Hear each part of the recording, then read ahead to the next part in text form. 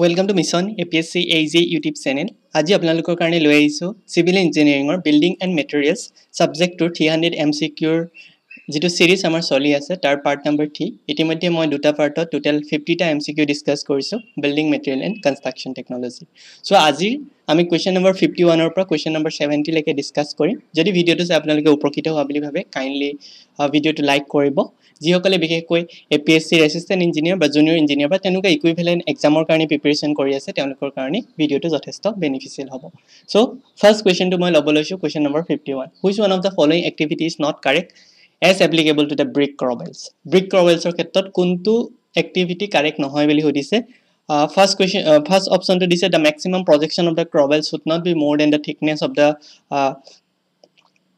here you can see thickness of the wall and the maximum uh, the maximum projection of each crowell course should be limited to a quarter brick at a time the discontinuous crowels are used to carry heavy concentrated loads. Stature bonds is generally used in the construction of brick uh, crowell so ভিতৰত option number D টো correct হৈ যায়। ষ্টেচিয়াৰ bond আমি use নকৰোঁ। আমি কি কৰোঁ? হিডাৰ বন ইউজ কৰোঁ। যদি আপোনালোকে এক্সপ্লেনেশ্যন চাব খোজে মেইনলি ষ্টেচিয়াৰ বন আমি জেনেৰেলি ইউজ নকৰোঁ। The correct bond typically we use for brick corbel is header bond not the ষ্টেচিয়াৰ বন বিকজ ইন দ্য ষ্টেচিয়াৰ বন the strength as well as durability is very very less if you see in the header bonds the beaks are laid with their ends uh, facing outwards providing more strength and stability to the crowell structure the stacer bond on the other hand it is commonly used for regular brickwork so stacer bond regular brickwork uh, কৰা হয় বাট ক্ৰবেল ষ্ট্ৰাকচাৰত কৰা নহয় okay so main ৰিজনটো হৈছে strength আৰু stability কম পায় next question number fifty two in a ordinary residential and public buildings the dam prof course is generally provided so আমাৰ যেটো dpc বুলি কয় সেই dpc টো কোনটো লেভেলত প্ৰভাইড কৰা হয় is it in the ground level is it in the plinth level or water table level or midway ground level and water table table level so ইয়াৰে ভিতৰত অপশ্যন বি টো কাৰেক্ট হৈ যায় plinth level so the dam proof course কি হয় it is a barrier type of layer of waterproof material incorporated into the walls of a building to prevent moisture or dampness mainly moisture বা dampness to prevent কৰিবলে from the rising through the walls walls or যোগেদি যাতে moisture বা dampness to আহি নপৰে তাৰ কাৰণে আমি dam proof course কৰো it is typically installed at the plinth level so এইটো ক'ত ইনষ্টল কৰা হয় plinth level which is the level of the base of the wall just above the ground level so just above of ground level to level hoy uh, the level at the base of the walls is known as plane level. Okay, this helps to prevent moisture from the seeping into the building and causing issues such as dampness, mold or structural damage. So option B to correct which up. Next question number 53 say in which of the following pairs both trees yields softwood so' ইয়াৰে ভিতৰত correct answer হৈছে option number D C আৰু চিৰ আৰু ডিঅ'ডাৰ ইহঁত হৈছে soft would আৰু বাকী যিখিনি দিয়া আছে সেইখিনি কি হয়? মেইনলি বাকী যিকেইটা উড দিয়া আছে সেইখিনি হাৰ্ড উড হয়। চ' অপশ্যন ডি টো কাৰেক্ট হৈ যায়। চ' বেচিকেলি কি হয়? Both chir and deodars are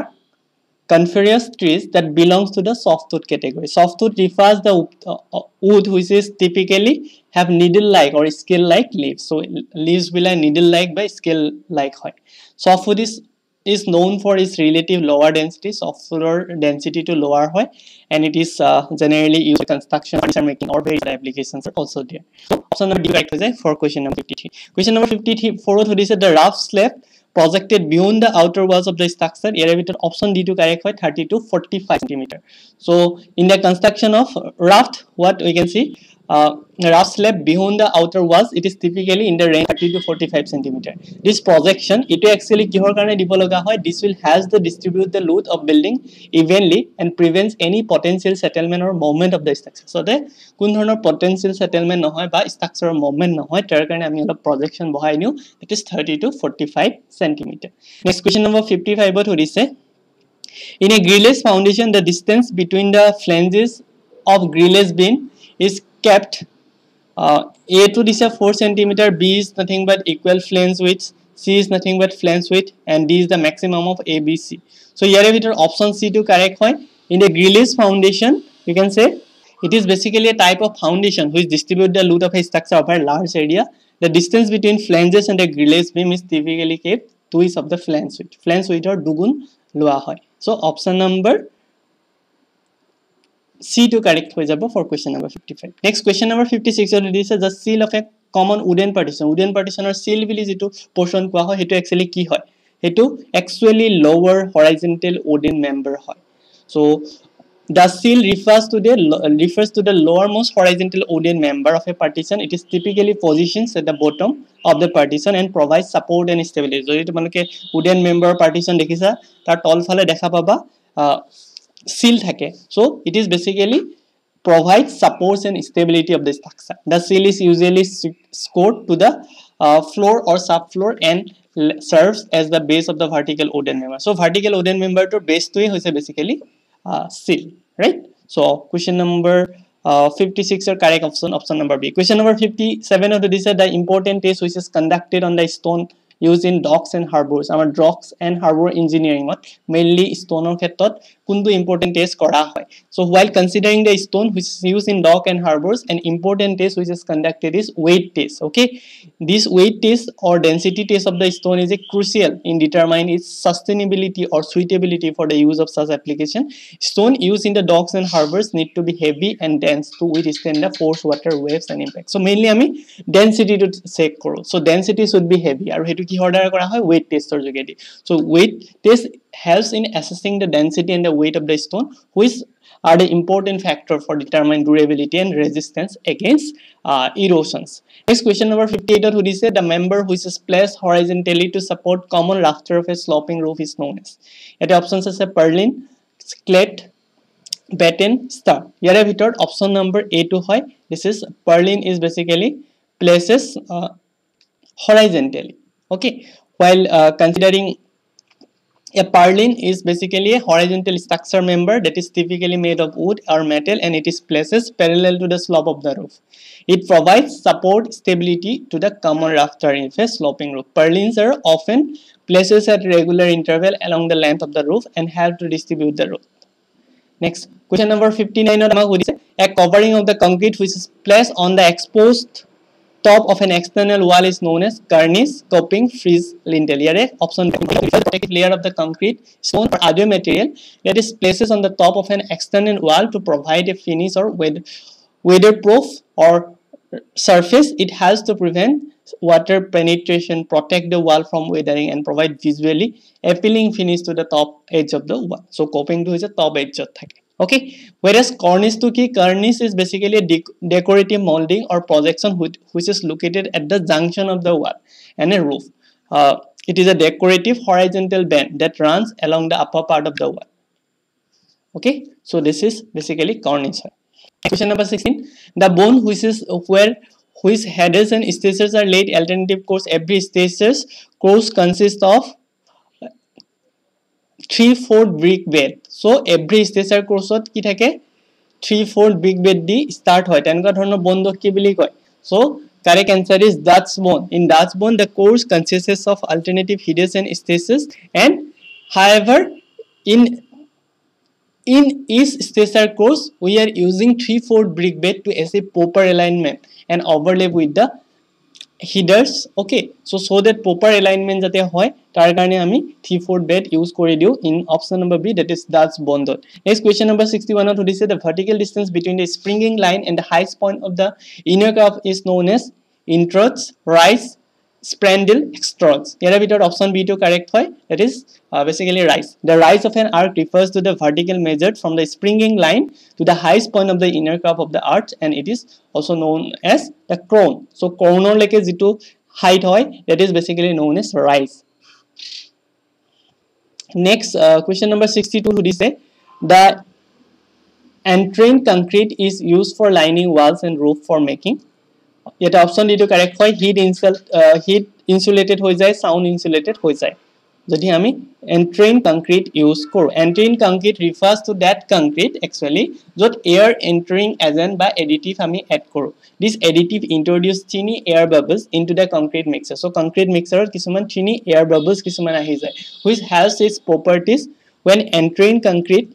it is use for lining walls and roof it provides both heat insulation and sound insulation benefit. The air bubbles in the entering concrete act as an insulating uh, pocket, reducing the insulating pockets, reducing the transfer of heat through the walls and proof. This more stable temperature inside the building, leading to the better thermal insulation. Additionally, air-filled voice also mainly these are contribute to the sound insulations So because your air pockets will like absorb point and it may damp the sound vibrations. So ultimately it will reduce the transmission of sound waves through the walls and ropes. So that's why soundproofing quality is to ahi So option number D to correct with question number 62. Question number 63 to say the depth of concrete bed of the foundation depends on. So concrete bed or foundation গোটেই কেইটা parameter ওপৰতে depend কৰে mainly Projection of the concrete block the upward soil faces what are the concrete mixes গোটেইখিনিৰ ওপৰত depend কৰে the projection of the concrete block beyond the footing over it the concrete block that extend beyond the footing provides additional support and stability to the foundation The depth of the concrete bed needs to be sufficient to accommodate this projection and ensure proper load distributions. Secondly,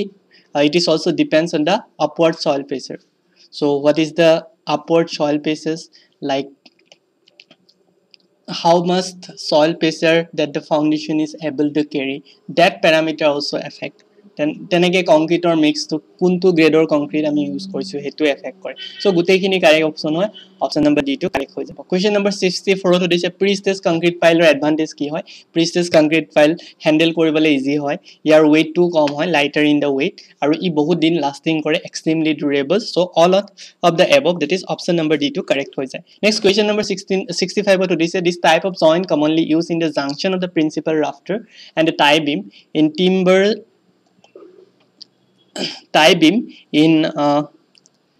timber trusses timber ষ্টেচত কোন ট্ৰাছত কেনেকুৱা ধৰণৰ joints presence থাকে মনত ৰাখিব oblique mortise and tenon joint present থাকে option B next question number sixty ছিক্সত সুধিছে পাৰ্কুশ্যন ডিলিং পাৰ্কুশ্যন ডিলিঙত কি কি হয়? মেইনলি পাৰ্কুশ্যন ডিলিঙত ইয়াতে যিমানকেইটা অপশ্যন দিয়া আছে গোটেইকেইটা হয়।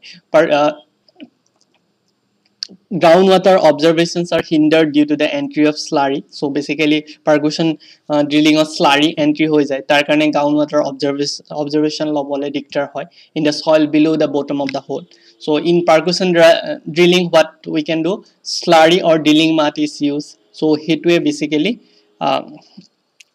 lubrication ot hoy kore however he slurry khini soilor and ভিতৰত গুচি যাব পাৰে আৰু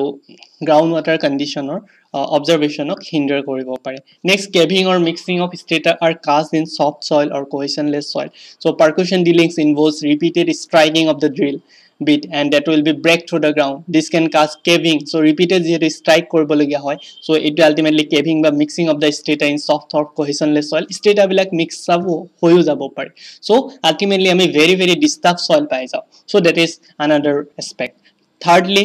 the soil is to considerable depth below the bottom of the hole gets distributed. The soil repeated impact of the drill bit in percussion drilling can disturb the soil with a considerable depth below, below the bottom of the hole. So hole to tall fale যেহেতু আমি বহুত বেশি hammering করো বা strike করো drilling operation চালাও ultimately আমি undisturbed soil নাপাও disturbed soil পাও which will be get pura changes kori diye so it is another uh, disadvantage we can say so option d to correct hoy jay for question number 66 question number 67 to this the type of stone machinery in which stones of same heights are laid in layers is called so random rubble machinery coarse rubble machinery uncoarse rubble machinery ইয়াৰে ভিতৰত coarse rubble machinery হয় য'ত আমি same হাইটত আমি laid কৰোঁ so coarse rubble machinery refers to the type of stone machinery which is uh, roughly equal height are laid in horizontal layer so roughly equal height আমি maintain কৰোঁ the stones are irregular in shape and size but selected to have similar height to create more in, more uniform appearance যদিও বা stone বিলাক irregular shape বা size হয় but আমি এনেকে বনাওঁ যাতে they have similar height and give some uniform appearance. The gaps between stones are typically filled with smaller stones or mortar. So, আনহাতে ইয়াতে অপশ্যন বিটো কাৰেক্ট হৈ যাব আনহাতে random rubble masonry refers to a type of stone masonry where stones of different size and shape use without any specific pattern আমি যদি কোনো ধৰণৰ পেটাৰ্ণ ফ'ল' নকৰোঁ তেতিয়াহ'লে আমি ৰেণ্ডম ৰাবল মেচিনাৰী বুলি কওঁ চ' ইয়াতে আৰু আৰু কিছুমান আছে অপশ্যন লাইক আনকোৰ্চেবল মেচিনাৰী সেইটোৱে ৰিফাৰ কৰে এটা type of stone masonry where stones of irregular size and sir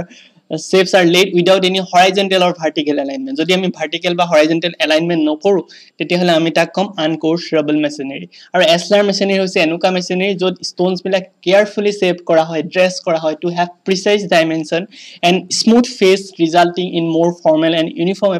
appearance যদি দিয়ে তেতিয়াহ'লে আমি তাক এছলাৰ মেচিনাৰী বুলি কওঁ। চ' এই কুৱেশ্যনটোৰ ৰেচপেক্টত অপশ্যন নম্বৰ বি কাৰেক্ট হৈ যাব because same height are laid in layer সুধিছে কুৱেশ্যন নম্বৰ ছিক্সটি এইটত wooden block fix on a back side of the door frame on its post it is known as cleat stop horn আৰু ইয়াৰ ভিতৰত correct answer হৈছে stop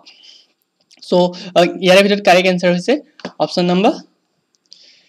B that is stop next question number sixty nine in a collar beam roof there is no horizontal tie beam there is uh, a horizontal tie at the feet of the rafter only there is a horizontal tie almost the middle of the rafter there are two horizontal lines one of the feet and another is the middle of the rafter here option c to correct the horizontal tie at almost middle of the rafter in case of color beam আৰু question number 72 দিছে কি আমাৰ যেটো piece of brick যদি আমি এটা ব্ৰিকক cut কৰোঁ with one corner equivalent to half the length and half the width এফালে হাফ লেন্থ লৈছোঁ এফালে হাফ উইথ লৈছোঁ। চ' তেতিয়াহ'লে সেই ব্ৰিকটোক কি বুলি কোৱা হয়? সেই ব্ৰিকটোক আমি কিং ক্ল'জাৰ বুলি কওঁ। চ' কুৱেশ্যন নম্বৰ ছেভেণ্টিনৰ কাৰেক্ট এক্স অপশ্যনটো হৈছে question option number C that is king closes so' সেইখিনি আছিলে মেইনলি বিছটা কুৱেশ্যনৰ ডিছকাশ্যন আমি নেক্সট পাৰ্টত কুৱেশ্যন নম্বৰ ছেভেণ্টি ওৱানৰ পৰা ডিছকাছ কৰিম। থেংক ইউ ফৰ ৱাচিং